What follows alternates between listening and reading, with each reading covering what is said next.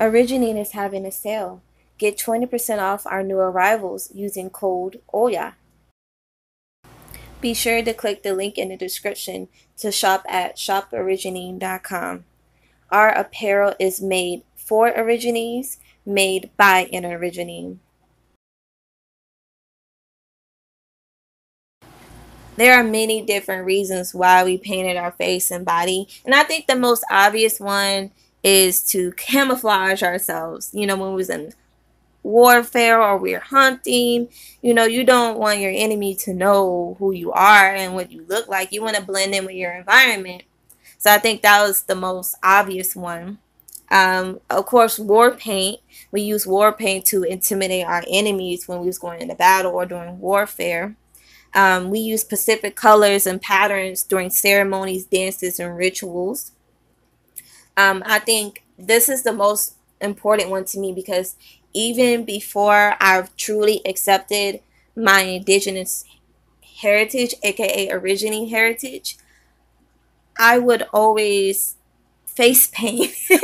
and um, I don't do it as much as I should, but I will always paint my face as the symbols that were really important to me and the symbols that I saw. And our people did do that. And we still do that. We always paint our face to show the messages, the symbols that we see that the Great Spirit has sent to us or, or let us see, or whatever the case may be. So I think that's a very important one because with face and body paint, it was to really express ourselves and it was used to not really show off individuality, but it was just show off what we know and what and what we're going through, what we're feeling. And I, I felt that so much when I did face paint. So I think I'm definitely going to do that more often. Um, we also painted ourselves as a form of protection, you know, protection from insects, sun, wind, cold, things of that nature. Um, and also medicine men would choose certain markings for warriors, and it is thought that powerful magic, powerful juju was passed on during the application of war paint, of helping the warrior to believe in him. He is that he's that motherfucker, you know? like he he's that one, like don't fuck with him.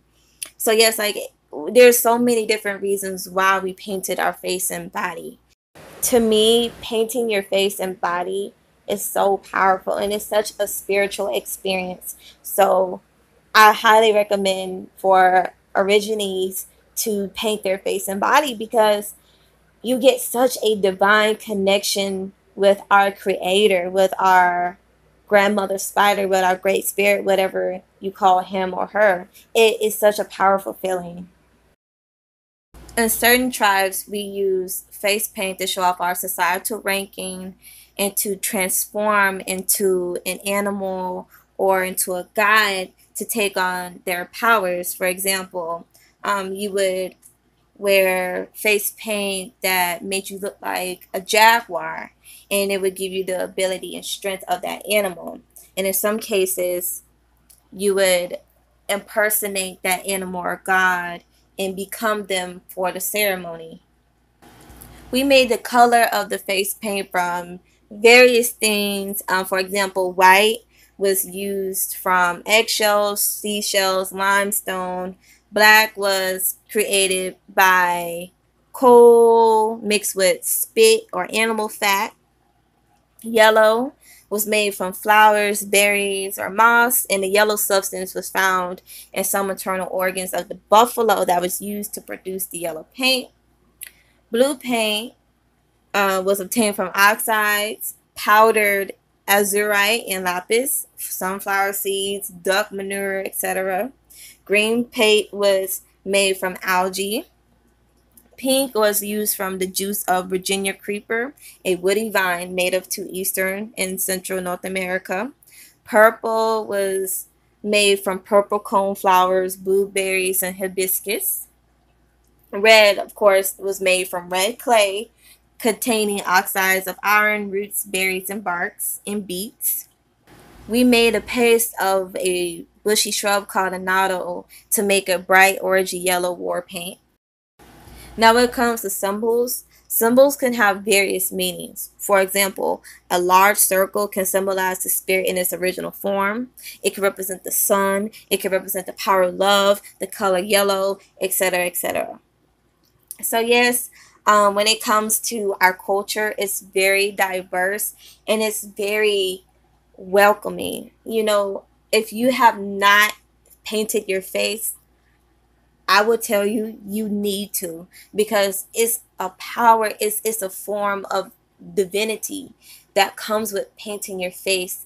And when I used to do it, I used to feel so empowered and I would use it to express how I'm feeling or what I'm seeing or envisioning. So yes, if you have not painted your face, you need to go and do it. You need to go get some herbs, mash that up, and make some color. Do whatever you gotta do.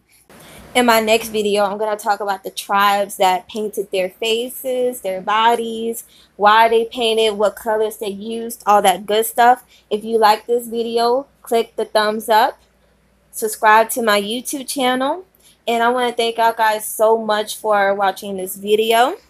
I hope it really clarifies some things and really open your eyes to Origine culture and heritage. Until next time, see you.